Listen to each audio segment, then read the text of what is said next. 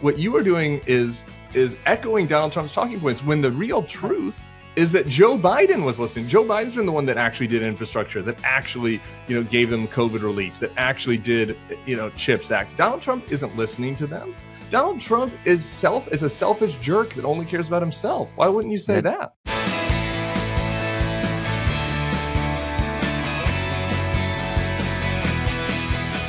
Congressman Dean Phillips, welcome to the pod. Good to be with you, Tim. Thank you for doing this. I have had some spicy takes about your campaign strategy over the last few months and your posture towards Biden. So I really genuinely appreciate you coming on here to hash those disagreements out. But before we did that, I thought we'd start with just a little bit of news and learning a little bit more about you first, if that works. Perfect. Unless you want to argue right away. No, I, I like to ease on into arguments. okay.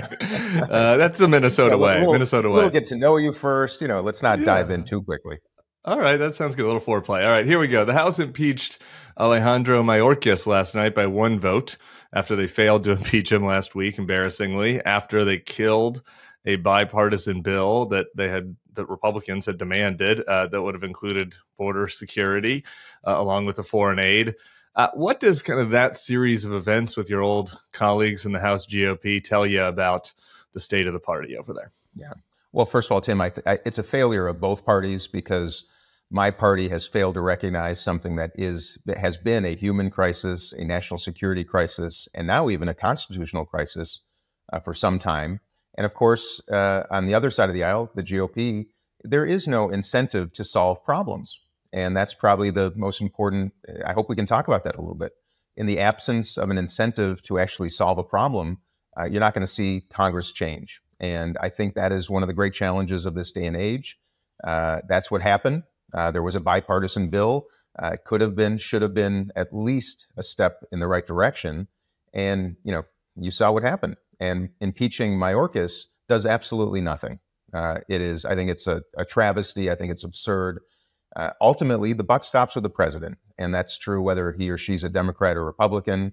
Uh, this is something that should be a priority. And I'm utterly disappointed uh, frankly, and my colleagues on both sides of the aisle, it's a lack of leadership, and that's why we find ourselves in this uh, predicament. What is the what is the Democratic failure on this, in your estimation? To not recognize, you know, Tim. Uh, in when I was sworn in in 2019, I took my first trip to the southern border. I was shocked. I went back again the following year. You know, this has been an issue, by the way, for decades. It precedes Trump and Biden. Uh, it is a massive failure. Uh, over the coming months, probably more like years we're going to see waves of migration around the world because of famine, because of war. I think climate is going to change in parts of the world where it's going to force people to leave. And we're just completely ill prepared. Uh, to see human beings in cages was appalling.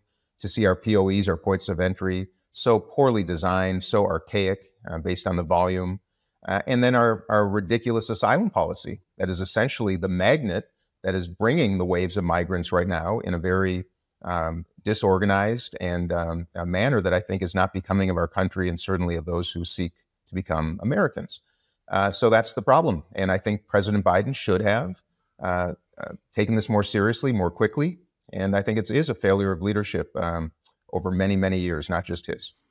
Yeah, and I think that's a good point. Going back many, many years, and I think going all the way back to you know the days when I was a Republican, when I was mm-hmm. one of the compassionate conservatives. Way back when, remember those? Um, uh, yeah, I mean, Obama and and Boehner tried to come to a deal on this, right? And and at that time, the Democrats' demands, in my view, were pretty reasonable because I supported them then as a Republican, right? Yep. That that we have to have some kind of you know, pathway to citizenship. We have to deal right. with the dreamers.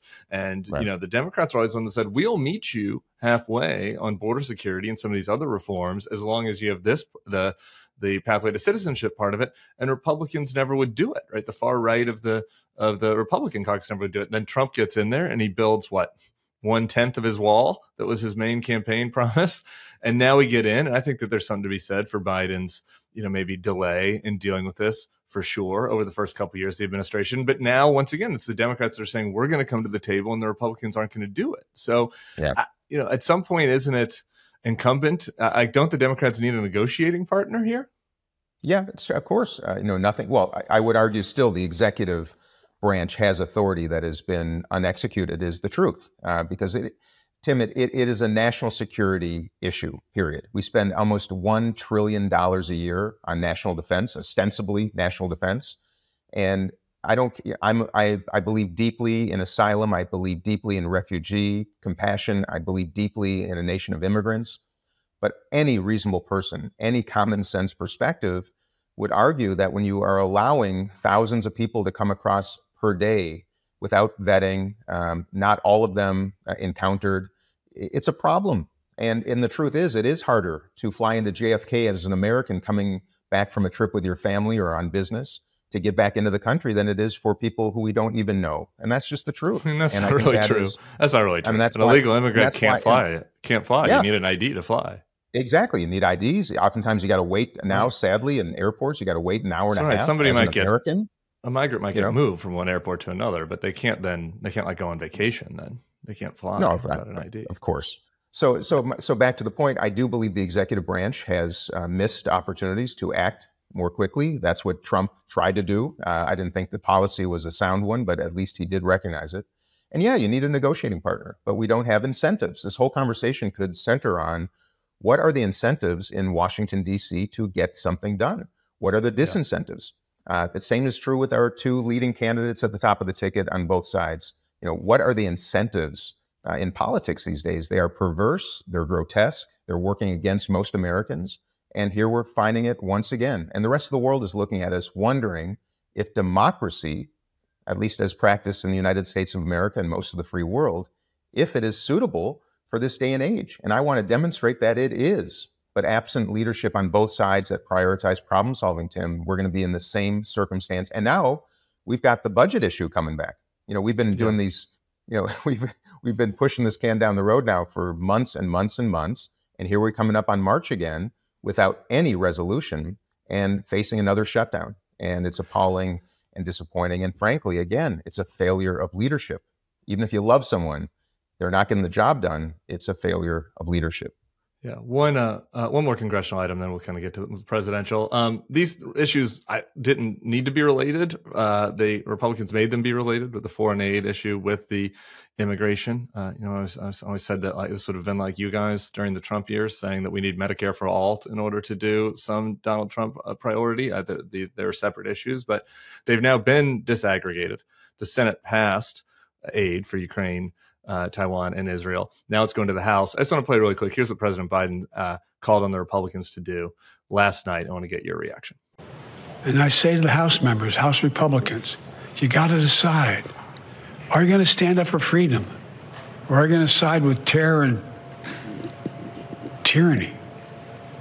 You're going to stand with Ukraine? You're going to stand with Putin? We stand with America or, or with Trump? Republicans and Democrats in the Senate came together to send a message of unity to the world.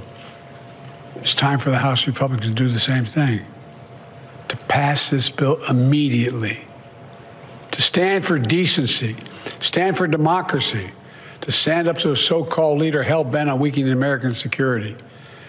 And I mean it sincerely. History is watching. History is watching. In moments like this, we have to remember who we are. We're the United States of America. The world is looking to us. There's nothing beyond our capacity. We act together. In this case, acting together includes acting with our NATO allies. Congressman? Mm-hmm.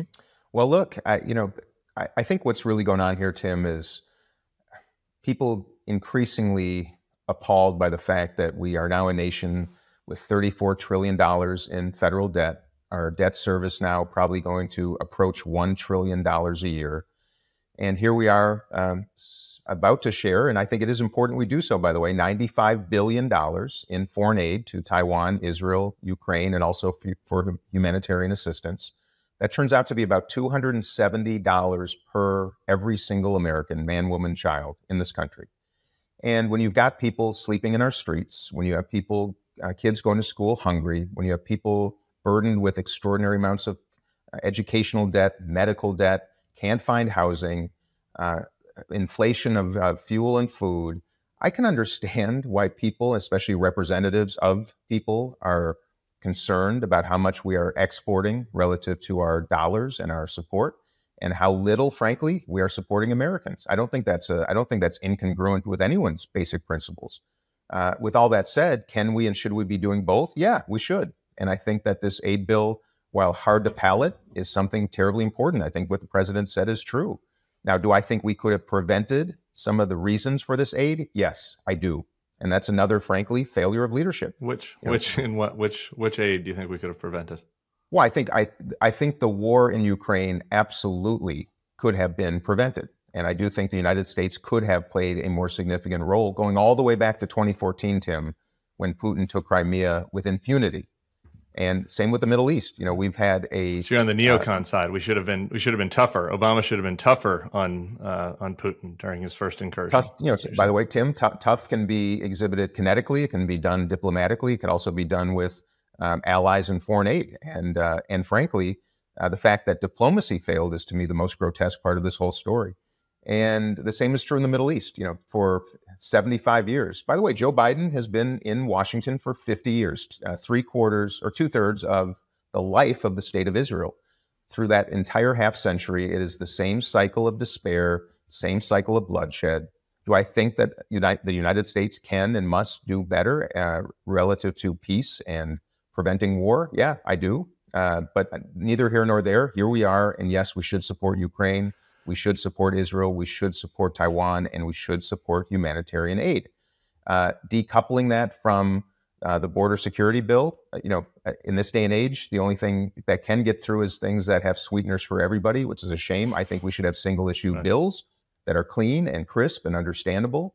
Uh, Americans can uh, opine as well. Uh, we're not in that circumstance. And the fact of the matter is, yes, it's all politics. And, and I would argue that Donald Trump, in some ways, has more influence right now in the United States Congress than the sitting president of the United States. That's pretty apparent based on the actions of too many who have become just sycophants for someone who I think is awfully dangerous. I think the president yeah. is correct. We have to do it. I think you might be a little bit overstating the power of the United States presidency to stop bad things from happening everywhere. And we had a genocidal maniac president in Russia. But uh, I, yeah. I think that transitions us a little bit into uh, where I wanted to go next, which was that's the job you want. And so, setting aside your critiques of Trump and Biden and their age, which are well taken, I just I'd love to hear just a clean pitch for Dean Phillips. Why you? Why do you want to be president? What you know? What what are the what would be the top things you'd want to take on? No, thanks, Tim. I'll, let me go backwards and I'll bring you to today. And you know uh, that starts with my life story. I, I, lost my father in Vietnam. He was a soldier, uh, U.S. Army soldier, a captain. I earned an ROTC scholarship to go to college because he could not afford it. Grew up very poor in Minnesota. My grandma I was a single mother, raised uh, two boys, my uncle and my dad. And uh, he was killed in action in July of 69, just a few days after the moon landing. I was six months old. My mom was 24, widowed. We had nowhere to go and we lived with my great grandparents for three years. And then I got lucky. My mom remarried a wonderful man. He adopted me, brought me into an extraordinary family uh, with many blessings. Uh, my grandma became Dear Abby, the advice columnist, uh, so a lot of advice in my family. Uh, and a lot of success. And I, I got lucky. And I share that because I don't think it should take a stroke of just good luck or being born in the right zip code uh, that determines where you go in America. And for too many uh, young people in this country, that's exactly the determinant either luck or being born to the right parents in the right place. And that's been a big part of my life. I was successful in business, our family business, and then Talenti Gelato, uh, the ice cream brand that my partners and I built.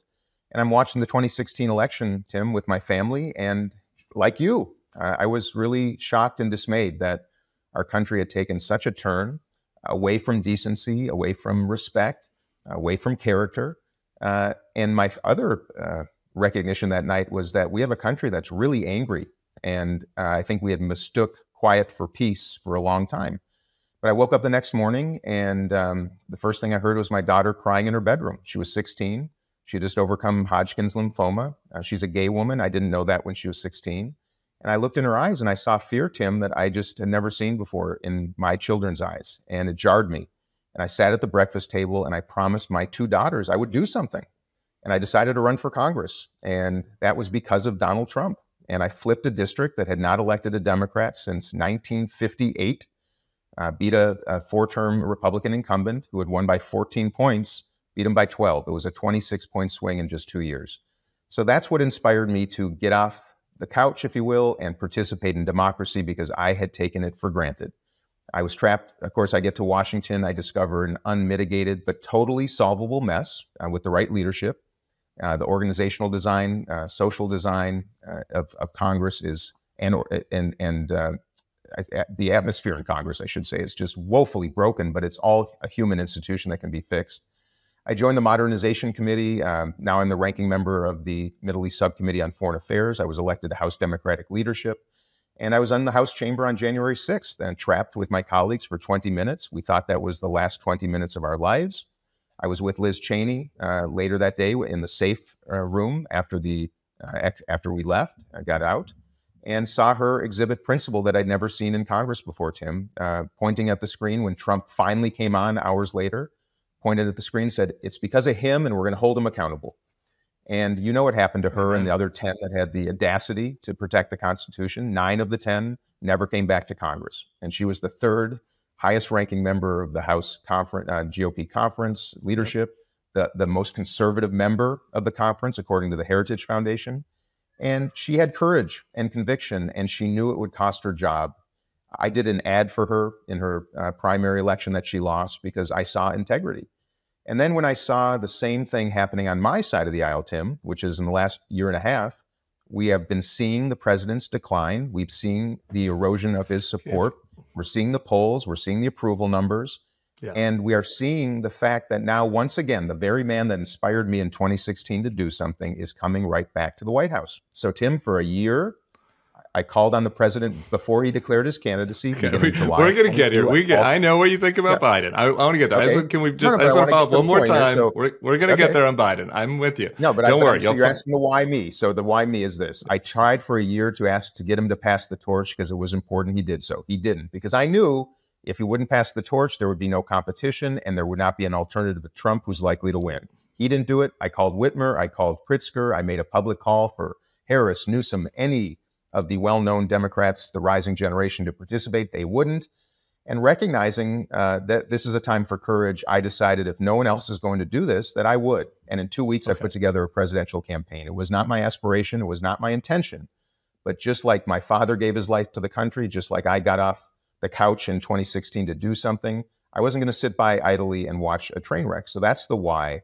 And the what I hear you. is a number That's a process why, though. I'm, I'm interested in your ideology. So here's the what. Where are you? Here's like, are what. you a Joe Biden? Are you a old yeah. Bill Clinton? Are you my man yeah. Jared Polis in, so in Colorado, a libertarian? Tell me your ideology. so here's my take. I, I'm a Humphrey Democrat, and I'm a business person. I believe in you can be pro business and pro worker at the same time. I believe in working with people. There's not a company in this entire country, Tim, that can succeed if you demean 50% of your customers that's what every single president seems to want to do. That's what both parties do.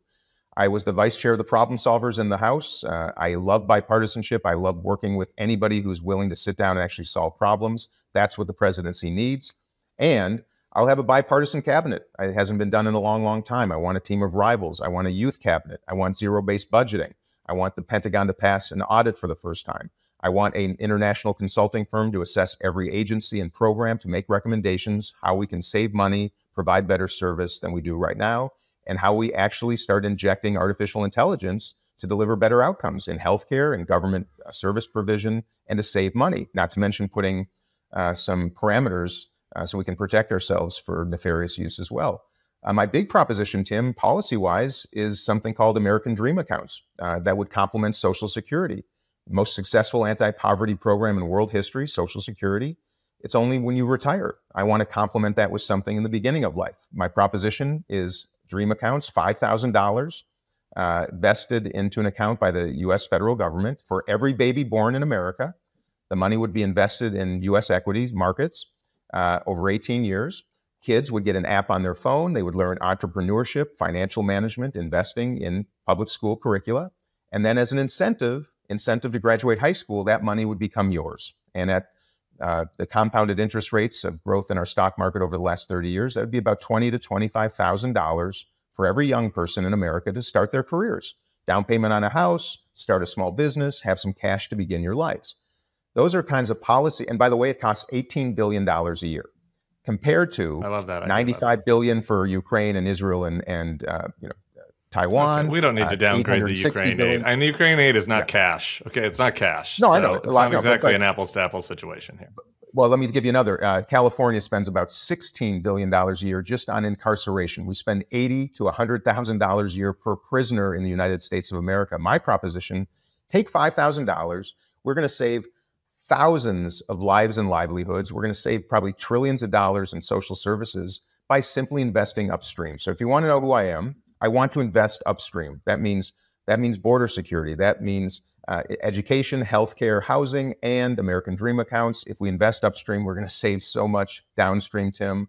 And the other is um, just that's speaking my language. Okay, though here's yeah. the thing: you keep in, in, in several of these answers, you talk about how we need to bring back bipartisanship. We have an absence of leadership, and like, isn't that uh, what Joe Biden has done? I, I guess this is what I don't understand. Like over the no. past four years, we we've had a bipartisan Chips Act. We've had the first bipartisan gun bill in a generation. We had an infrastructure bill that Trump promised and didn't do. We uh, codified yeah. gay marriage with myself and your daughter appreciate. Mm-hmm. Like, I, you know, people keep telling us that uh, there are these polarized times. Everybody, including me, by the way, said when Biden came in, he was a little naive about whether yeah. these Republicans could be worked with.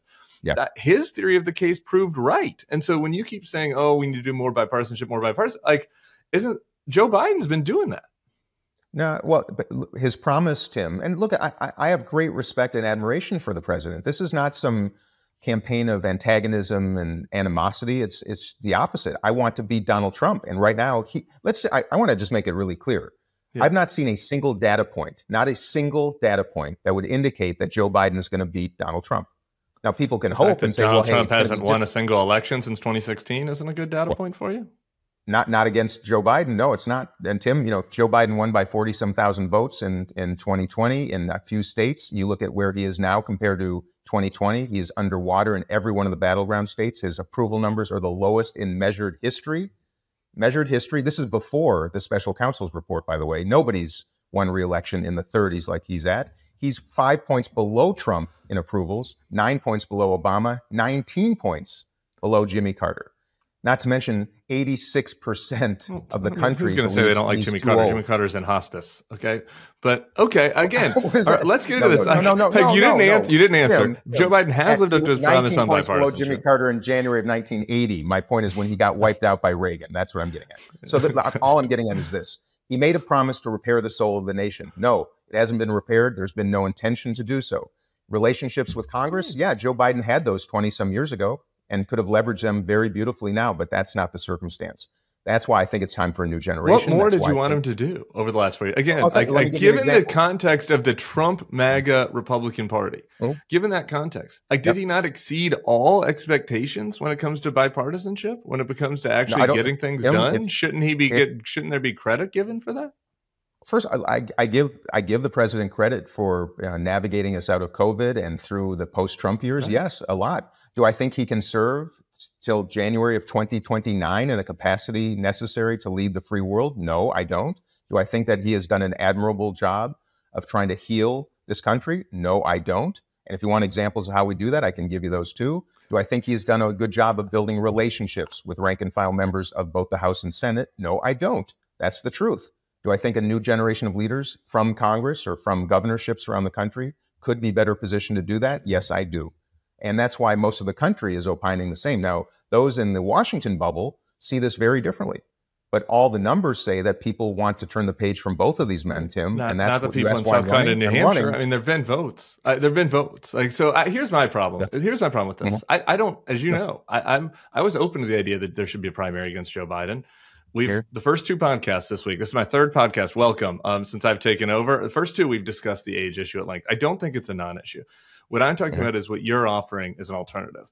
You, sure. There's no data point that mm-hmm. shows you doing better than Joe Biden. There's no data point that shows Kamala Harris doing better than Joe Biden against against Donald Trump. In the actual mm-hmm. votes we've had to date, you've gotten slaughtered by Joe Biden. So like what? So if you're going to come on here and say, okay, I need to, I agree with most of what Joe Biden did. I need to replace him because he's too old and and you know his his polling numbers aren't good.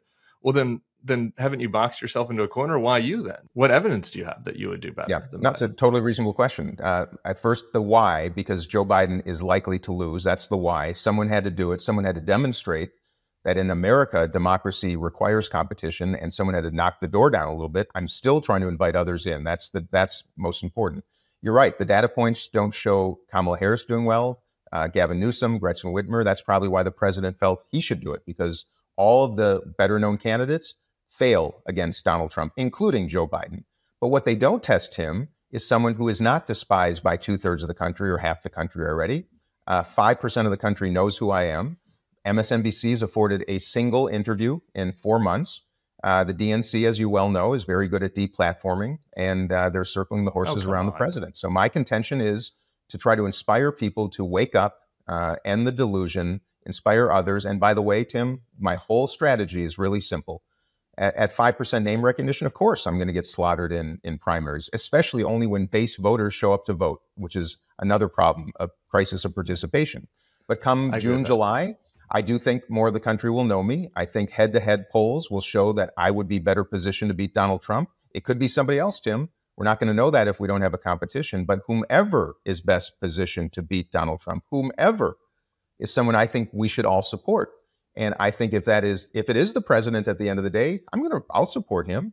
But if it's me, if it's somebody else, I think we should support them. That's the whole contention. But if you don't allow democracy to be practiced, if you suppress voters, you suppress candidates, you suppress debate, which, frankly, the Democratic Party is doing right now, I don't think that's helpful. And circling the wagons around an 81 year old man who's um, is increasingly perceived as unable to lead the country, Tim, I think is a, a massive dereliction of duty. And all the party needed to do is have a thoughtful primary competition that, if we were pragmatic, we would have done.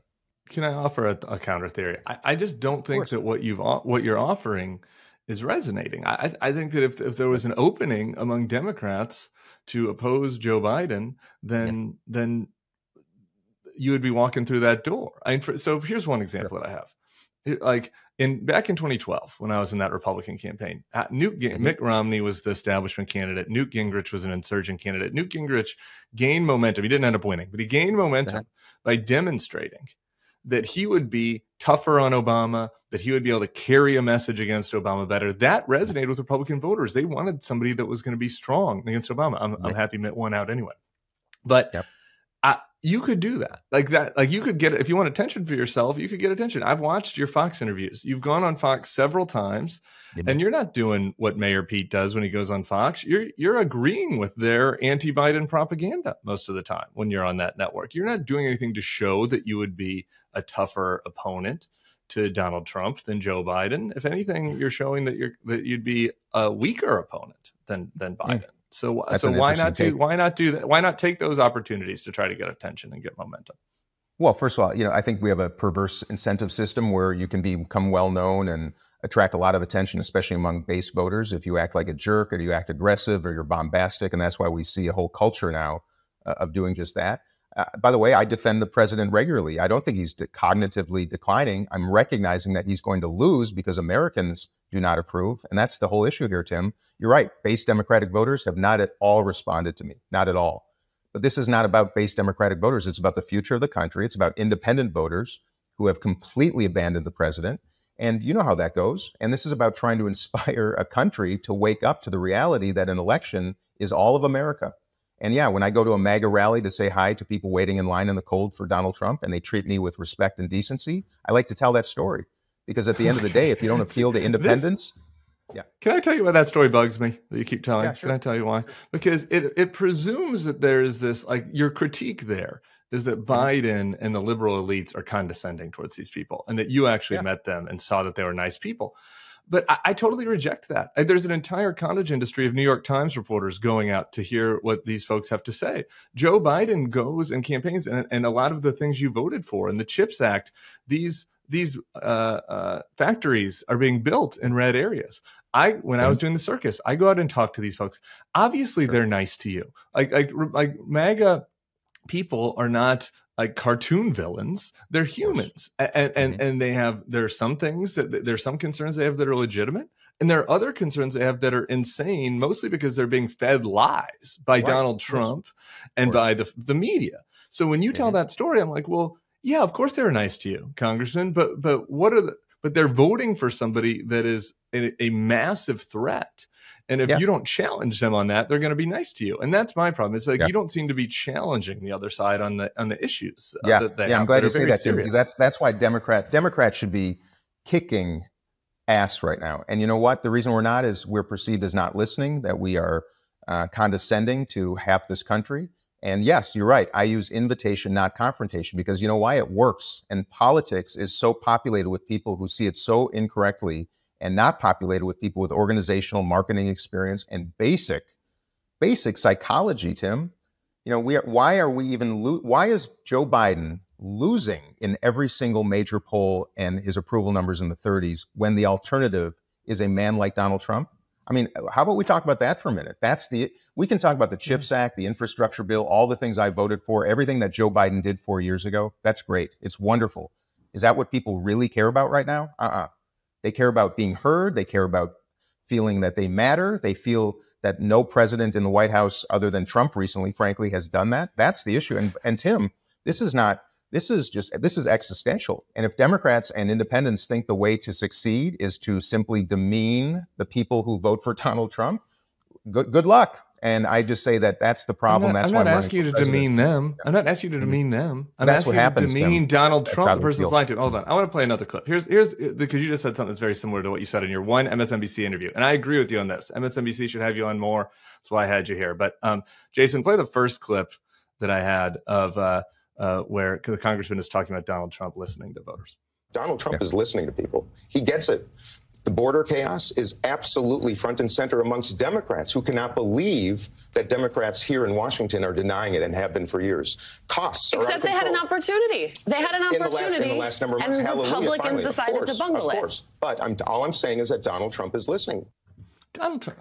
Do you listen to Donald Trump? I guess is my question. Do you listen to him? Do I listen because to Donald Trump? No, I, I think yeah, he's not he listening. His speeches are insane. His speeches are mostly yeah. complaints about the 2020 election. And, and why is he and, winning, Tim? And, Tim, why, then why is he winning? You tell me. That, let me turn me. it on you. Oh, I, am no, telling you. I, I will. I can tell. I can tell you because Donald why? Trump and the conservative media have an echo chamber where they have convinced mm-hmm. these people that they that their that their legitimate grievances you know, yeah. uh, mean that they should support somebody like Donald Trump, who is lying to them, who's a selfish jerk, who has convinced yeah. them that you know the elites and culture are out to get them, and then you're yeah. out there validating this this BS point. Like Joe Validated. Biden is the one that, yeah, yeah. When you're saying that I'm listening to these people and their complaints are valid, and that Donald Trump is listening to them, what you are doing is is echoing Donald Trump's talking points when the real truth is that Joe Biden was listening. Joe Biden's been the one that actually did infrastructure, that actually, you know, gave them COVID relief, that actually did, you know, CHIPS Act. Donald Trump isn't listening to them. Donald Trump is self is a selfish jerk that only cares about himself. Why wouldn't you say yeah. that? He is a selfish Tim. That's why I told you my story of why I even entered Congress in the first place because he's such know, a so why are you talking about that despicable man. And I talk about it all the time. But you know, the fact of the matter is, I'm not. I'm trying to run against Donald Trump because I I know how to beat him. You know how you beat him? By inviting the people who are so angry in this country right now, who are joining him because they feel he's listening and they don't see anybody else doing it. When he goes into the small towns around the country and does rallies, when he's perceived as all over the place and the president doesn't do it, yeah, that's a problem. He's not listening to people in the way that you need to in this day and age. But Tim. perceived, you said yeah. the word perceived, that you're contributing to that perception though. Oh, by, really? by okay, echoing so, so, this point that Donald Trump is mm-hmm. listening to people when Donald Trump is not. Donald Trump does no, not well, care about. Do you? Th- are you under the impression that Donald Trump cares about the people? No, he has rallies? no. Tim, I've been in the I've been in the situation room with the man. I've looked at his eyes. I saw a man who lacked empathy. One hundred percent lacks empathy. So I know. Why are you saying that he's is. listening to people? Because well, why? Why am I saying he's listening to people? Yeah. Because every single poll, Tim, says that he has attracted more people in this country to win elections, and Joe Biden hasn't. So I, can it's we like an Ouroboros where you like eat your own tail, where you're like, oh, the poll says that they're listening to him, so so that people are listening to him. But why are you saying it? Why do you, why do you Am echoing his talking points? Why are you echoing Trump's talking points? That's not his talking. No, his I don't echo his talking points, Tim. I, what I'm trying to do is prevent. I'm trying to present a path for Democrats to win. Okay, Tom Suozzi last night. Did he win by being a uh, a leftist? No. Did I win my district no. by being a leftist? No. I be I was I listened. Is Joe I Biden invited, being a leftist? Um, to many in the country, he's perceived as such. That's the truth. Is that not true? I mean, that's the perception, and he's not done a good job to actually present. I, I guess the, what did Tom Suozzi run on that was different than Joe Biden? Like a little bit harder on the border. I agree with that. Joe Biden could a run little a little bit, bit more aggressive on the border. Yeah. Is that yeah, many, what? Yeah, on what many, other issues did they many, disagree? How many times? Well, Tim, you, I know you. You're a student of politics. You know exactly mm-hmm. how Tom Suozzi ran and won. You know this country. You know we are generally probably a little bit of a center right country, and if Democrats want to win, we need to do it differently. And the way we're doing it right now, the messaging, Bidenomics uh, encapsulating a president instead of getting him out there. So the perception, at least, is that he's hearing you, that he's engaging with people. Not he doesn't do interviews, he doesn't do press conferences. I'm trying to inspire Tim. This notion that I'm somehow um, parroting uh, Donald Trump talking points, I can't imagine one other than the fact I'm trying to wake up Democrats to start playing the game better. Absolutely. There's no question because we're going to lose. I want to. I, I want to play one more clip though, just because sure. I'm. I'm trying. You're trying to help Joe Biden. I'm trying to help you because I. I, I agree. If we had a better alternative, if we had somebody that was beating Trump by 20 points, trust me, I would jump ship. That's not what we have right now. Here, here's you. You went on primetime Fox, which is a, a Donald Trump propaganda outlet, to talk to Jesse Watters, and, and here's what happened. Let's play the clip. In terms of mental capacity, Trump's light years ahead of Joe Biden. Just look at him, and the polls show the same thing. But you say decency. He's a decent man. You can squabble yeah. with that. But wouldn't a decent leader maybe put the country above his legacy and his ego mm. and do the right thing? Or is that Jill's job? No, Jesse. In fact, I, I was the first Democrat in July of 2022 to publicly call on the president to pass the torch. Uh, he implied he would only serve one term, of course. I've been doing that on a mission. I invited other candidates who are better known than me to enter the race because democracy requires competition. The GOP has a number of candidates running right now, of course. And yes, I think he should be putting both his own legacy and the country, most importantly, ahead. And I think he's making the wrong decision for both. So, so yeah. when Jesse Watters says that Donald Trump is light years ahead of Joe Biden in mental capacity, you're on primetime Fox. Why are you not trying to speak truth to the people that are watching primetime Fox? I mean, this man know, confused Tim, his own ex-wife for his rape victim. Yeah. In in that moment, I should have pushed. Back. By the way, I've been on Fox a, a number of times, and when they say that kind of stuff, I push back and I say, I've said it a number of times. I don't see any cognitive decline. That's not the issue. The issue is the next election.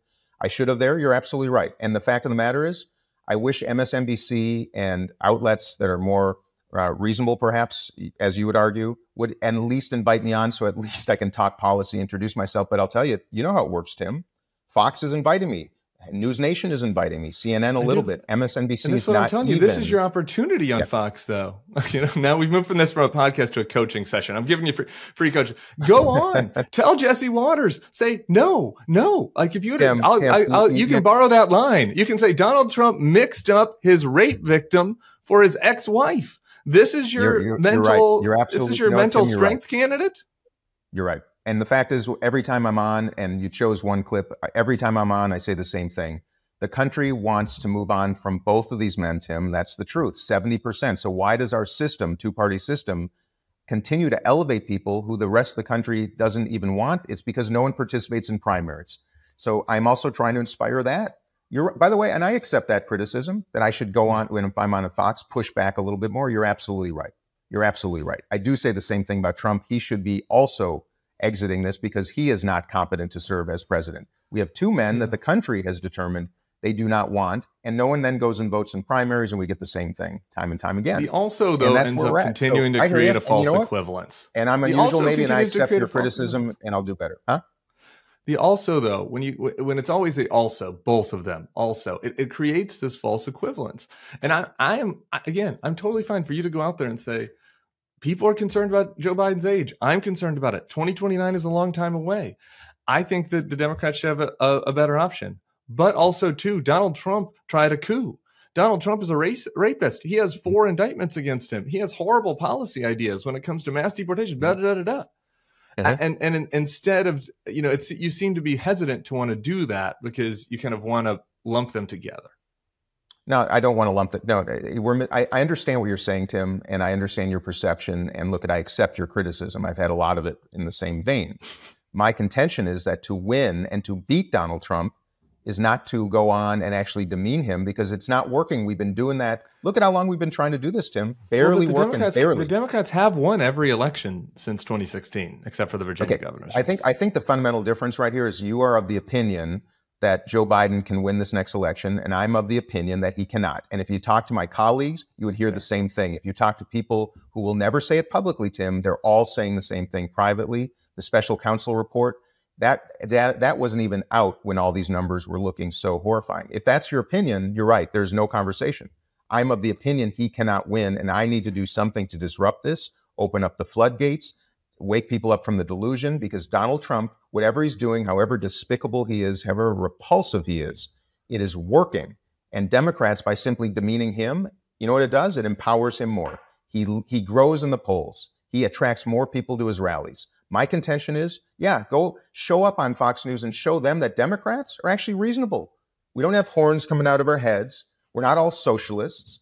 We actually are people of common sense, decency, invitation, competency, and we understand your gripes. That's my contention. You can demean that strategy, but I'm telling you, mm-hmm. that's what works in the business world. It's what works in politics for those who've done it. And I'm afraid Democrats are completely deluded into thinking the way to win is to talk about the infrastructure bill and to say Donald Trump is a horrible, terrible, no good man.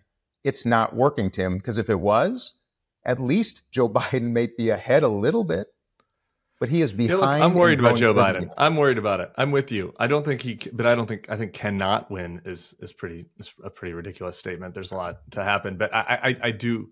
I'm worried about it, and and I think that on mm-hmm. 70 60 70% of the things that you're saying I, like we're totally aligned i, I agree yeah. with you I, am i think that democrats should go into red areas and show that yeah. they're not scary and not socialist exactly. and be nice i i i told and i think joe biden does that a lot to be honest but i think the democrats should do that it's when you mm-hmm. get into the process stuff that I, I i we part ways okay i want to i want to let you go but i want to end with a fun parlor game if that's okay can we do a parlor yeah. game to end and by you the way let me can i just say can i just say i appreciate sure, you and what you just said and by the way counsel is always helpful and you know perception is reality. And at the end of the day it would be nice to be introduced to democrats at least to be introduced. And that's why you're right. And i will take your counsel to heart and i will practice it. I want you to know that.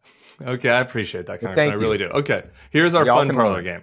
And yeah, yeah, and thank you for coming on. Honest, honestly, you did not have to. I believe I did call you a gelato beat bleep one time on a podcast, hey, which can, just came out. Sometimes I'm letting it fly. As, as long as we beat Donald Trump, you can call me generic Democrat. You can call me gelato baron. You can call me an asshole. I don't care. We got to okay. beat him.